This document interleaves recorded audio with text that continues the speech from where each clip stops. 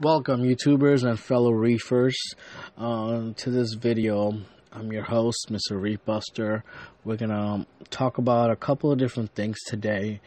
Um, if you follow my channel, and it's been, you'll know that it's been two months since I put up a video, and partially because I haven't been um, here with the tank to do a maintenance, you know, proper maintenance on it and do video for you guys. I was away for two months, so that's partially um, the reason why I haven't been posting videos on this channel or giving you guys update about this 45 gallon tank of mine. But now that I'm back, uh, you expect to see more videos. So with that, I'm gonna start this video today and since my last video, it was about one month update uh, with the sump refugium on my tank. And it's been three months so far, and I believe the sump has gone through the cycle process, and I'm starting to see some results. And I'll tell you why I'm starting to see results, and I know that the cycle period is over because the two months I wasn't here to take do proper maintenance on this tank on everyday basis. It's not like I was gone the whole two months and nobody took care of this tank. It, it's not the case. I did, you know, I would come once every two weeks uh, to do weekly, ma- you know, maintenance on this tank, just not as much as I, I used to do before. And the reason I got away with doing that you know, doing one maintenance once every two weeks or every three weeks. The reason I got away with that because I have a sump refugium now. If I didn't, if I was still running canister filter, all my corals would be dead. My livestock would be probably dead. The tank would look disgusting probably. But thanks to my sump refugium, I was I was able to get away with the minimal maintenance on this tank for the past two months, and it's still thriving the way it is. So I do have to thank my sump refugium for that. So I know it's doing its job. Now, I'm gonna show you guys my sump refugium a little bit. You'll see what I mean by that. I mean, this tank, um, I did add some new corals right after I added the sump refugium, which was a mistake in my my part, and I did pay for that mistake. The toadstool coral in the center, the long tube anemone on the top right corner, and the torch coral on the bottom right. I added those along with the frog spawn at the same time. Now, since then, I have lost the frog spawn and I, I'm guessing it was too early to add that kind of a coral into this tank. Now the toadstool leather is doing fine. The long in the long tentacle anemone, he's doing all right, and we'll talk about him a little bit. And the electric torch is doing good as well. I mean, he's got a second head coming out, so I'm sure. I'm, I'm assuming he's happy with the water quality in my tank. The problem I'm having is with my long tentacle anemone now, I'm not seeing as much growth as I would like to see from him. He's still the same size. Matter of fact, he seems a little bit smaller since I got him, and he and he does tend to move around a lot. I mean, he goes to the back, to the front, to the top right where you see him. He moves around a lot. I mean, frequently on a daily basis, which is unusual. Um, if you guys have experienced it with long tentacle anemones, please leave a comment below. Let me know why uh, he's moving around so much and I'm not seeing growth. I do feed him shrimp, pieces of shrimp once a week. Maybe uh, let me know if I should feed him more than once a week, maybe twice a week. But other than that, most of my corals are doing good. The Xenias are doing good. You know, Xenia colonies, I have two different colonies on two sides, and there's a lot of heads coming out of those, a lot more bigger, a lot of colonies there. So those are doing good. The, to- the toadstool leather is doing good as well. The mushrooms are doing okay. My mushroom island I want to do over there, not a mushroom island, but those two rocks I want to populate with mushrooms. So they're doing good.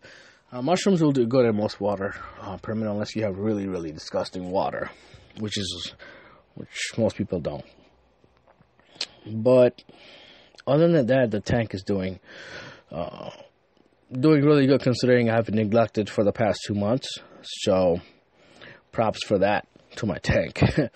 now, I wish my zoanthid colony was doing be- you know better. I do. I'm gonna be adding more zoanthids to this tank, but enough of the coral talk. I mean, you can see right there, Electric Torch is doing good. I brought him down. He was up there more. I brought him down. He, I think he, it's better if he's toward, more toward near, near the sand. So what I want to show you guys right now is I'm going to show you guys my sump refugium section and you'll see the growth I've had in my refugium section and which is crazy.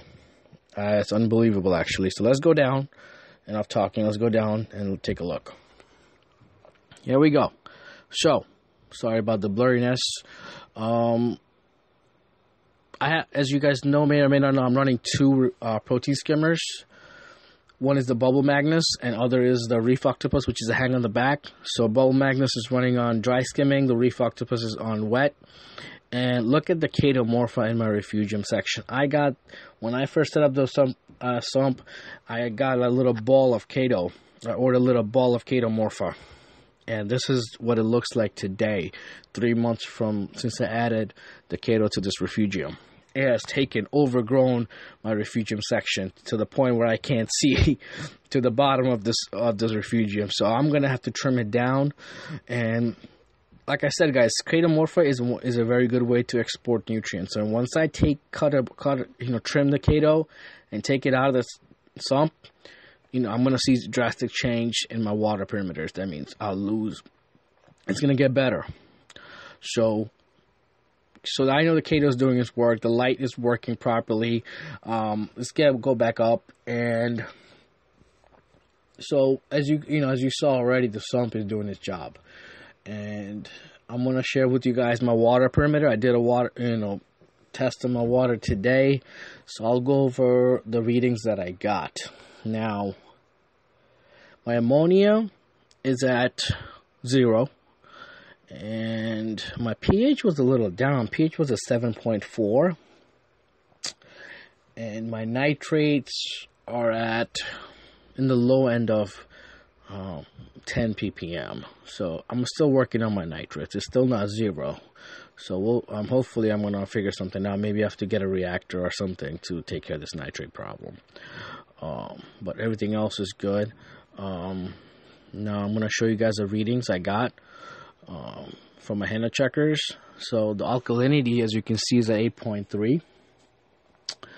Uh, calcium is at 541, which is on the high end, which I'm not going to complain about. And my magnesium is at uh, 1360, I believe.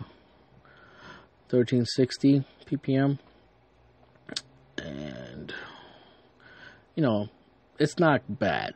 It's okay water perimeter. Um, now as far as livestock goes i did add two new fishes to this tank. You, as you can see the purple pseudo he's a new addition to this tank. Uh, he's uh, he's a very shy guy shy little guy. Um, and he gets bullied a lot by my blue hippo. Blue Hippo, he, my Tang really hates him. He doesn't hate him, it's just like to bully him around. And he kind of try to mess with my Tang as well, and he'll get back at him. And I also added a new clownfish along with the blue pseudo. I got a fire ice uh, clown. So that's the new type of clownfish, which is people are going crazy for. It's um, spots are white with orange and black. So I got him at a good price, so I decided to get him as well. So I'm done with the livestock as far as fishes go. Um, going forward, I'm going to be adding, I'm going to start adding more cleanup crews and invertebrates on this tank because it's time for more cleanup crews on this tank. Um, and eventually I'll add more corals, but not right away. I'm going to wait a little bit longer before I want to add more corals.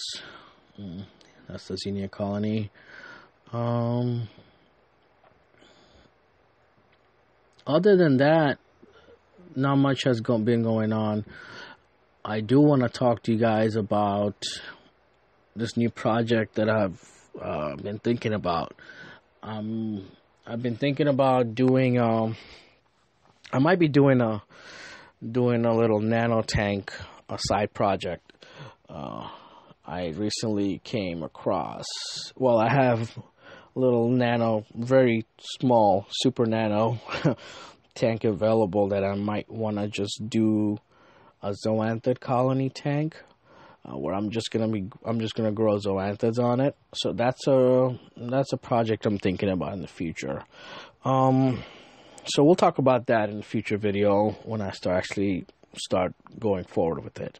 But that's it, guys. You know, I just wanted to give you guys a quick, quick heads up, and it's been two months, so I wanted to post a video and let you guys know what's going on with this tank. But do expect to see more videos, more frequent videos with my, with this 45 gallon, and not to mention, I'm gonna be probably doing a whole series on the nano tank I'm going to be doing. So at the tank I'm going to be doing.